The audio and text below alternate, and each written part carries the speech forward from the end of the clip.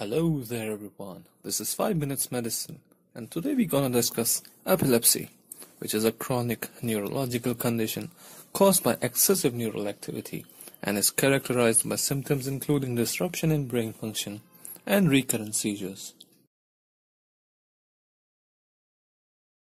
Epilepsy is fairly common worldwide, with around 65 million existing patients and 4 million cases adding up each year, and most of these cases come from developing countries. Though mostly, epilepsy is idiopathic, major notable causes of this disease are genetics and head injuries. Brain pathologies like stroke and infection can also cause epilepsy, and metabolic derangement due to substance abuse and allergies are also major cause of this disease.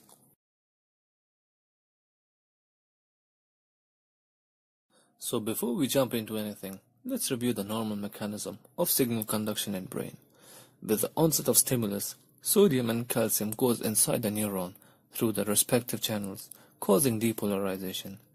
This depolarization travels through the length of the neuron and releases neurotransmitter into synapse which acts as a signal for corresponding neuron. Since here we are concerned with epilepsy, we will consider only brain functioning. So there are major two types of neurotransmitter, which are excitatory neurotransmitter, that is the glutamate, and the inhibitory neurotransmitter, that is gamma aminobutyric acid, or GABA. In a healthy brain, we have systematic conduction of impulses that is different group of neuron fire signals at different times. But due to variety of factors like infection, we see excessive neural activity, that is, the firing rate increases and the group of neurons all fire at the same time, creating the symptoms of epilepsy. This can happen due to increased depolarization, which is through increased sodium and calcium influx and decreased potassium efflux, or increased excitatory neurotransmitter function or due to decreased inhibitory neurotransmitter function.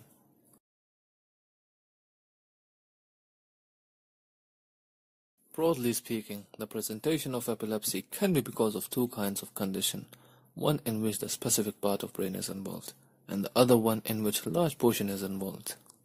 Because of which epilepsy has wide variety of symptoms, ranging from temporary loss of awareness to complications like severe jerking and body stiffening. Some other common symptoms are uncontrolled body movements, changes in senses, tingling, or complex symptoms like losing consciousness.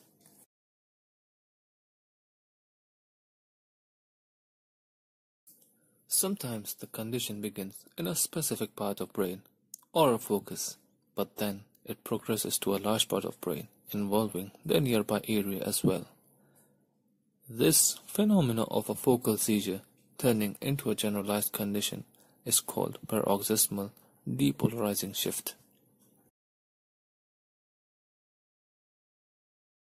Epilepsy is said to be diagnosed when the patient suffers from two or more unprovoked seizures, which is primarily diagnosed by history taking and physical examination of the patient. Blood analysis can be done for provisional diagnosis and ruling out conditions like hypoglycemia, etc radiological examinations like MRI and CT scan and electroencephalogram are used for confirmational as well as differential diagnosis.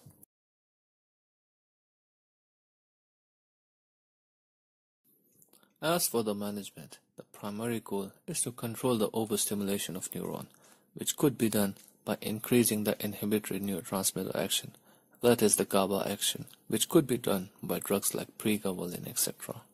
Anti-anxiety drugs like diazepam can be used too.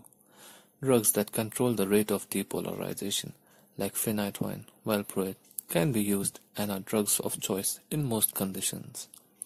Newer drugs like lamotrigine are mostly used in pregnant or older patients as they have negligible side effects in comparison to other drugs. So that's it for today. If you liked the video and found it helpful as well as informative, please help the channel to grow by liking, sharing and subscribing it. Thank you. See you until next time.